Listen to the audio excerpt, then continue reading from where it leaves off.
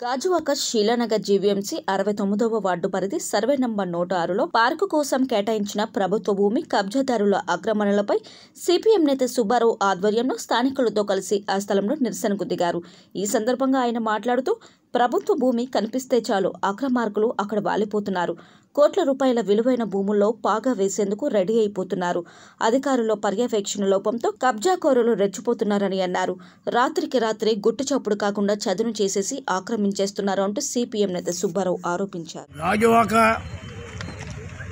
పాత అరవై ఐదో వార్డు ప్రస్తుతం అరవై తొమ్మిదో వార్డు ఉన్నటువంటి శీలానగర్ వెంకటేశ్వర కాలనీ ఏరియాలో రిజిస్టర్ ఆఫీస్ ఎదుర్కొన్నటువంటి కోట్ల విలువైనటువంటి ప్రభుత్వ భూమిని ఎవరో గుర్తు తెలియని వ్యక్తులు రాత్రి రాత్రులే వచ్చి ఇక్కడ ప్రభుత్వ భూమి అనేటువంటి బోర్డును తొలగించి పూర్తిగా కాంపౌండ్ వాళ్ళని కూడా తొలగించి సదును చేసి దీన్ని స్వాధీనం చేసుకునేటువంటి ప్రయత్నం చేయడం జరుగుతూ ఉంది.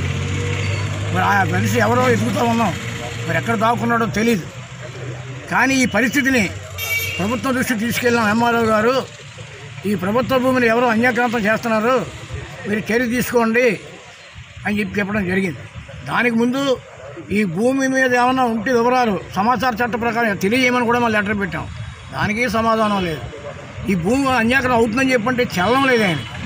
మరి జిల్లా కలెక్టర్ గారు కూడా మేము మెసేజ్ పంపడం జరిగింది. ఆయన నుంచి కూడా ఏమీ రిప్లై లేదు. స్థానిక ఎమ్మెల్యే గారు కూడా ఫోన్ చేశాం.